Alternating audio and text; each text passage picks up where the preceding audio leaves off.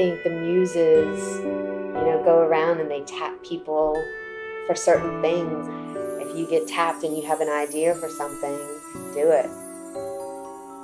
I think that it takes somebody who hasn't done something like this before to be crazy enough to do it.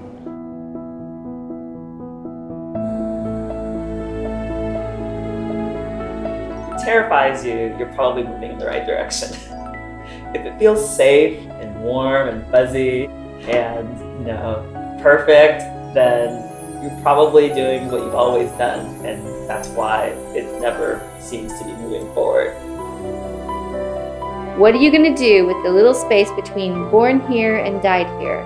How we show up and how we use our time and our focus and our energy and our love makes all the difference. What is the purpose of our life? Why are we here? We are on this earth only for one reason, and that is to serve as each other's examples.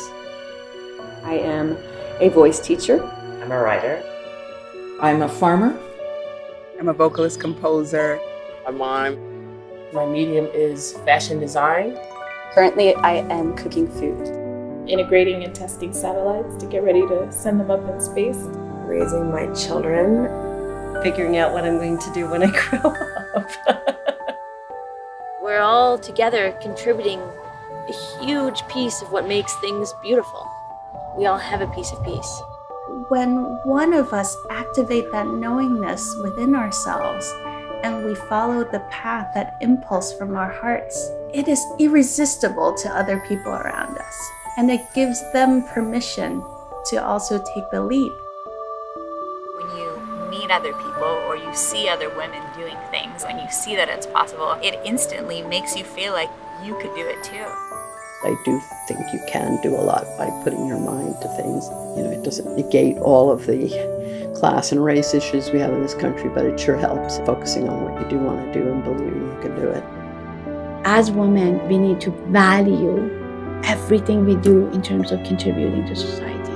We need to look at the opportunities we have in life and use the multidimensional thinking that women have in our advantage and, and change the society for better. Do what makes you happy. Do what you love. And shine that brightly. And then other people will see that that's a possibility. Our job is to go out in the world and be big live a bigger life that may not even feel comfortable for us so that other people can look at that and go, wow, if she can do that, then maybe I can live my dream too.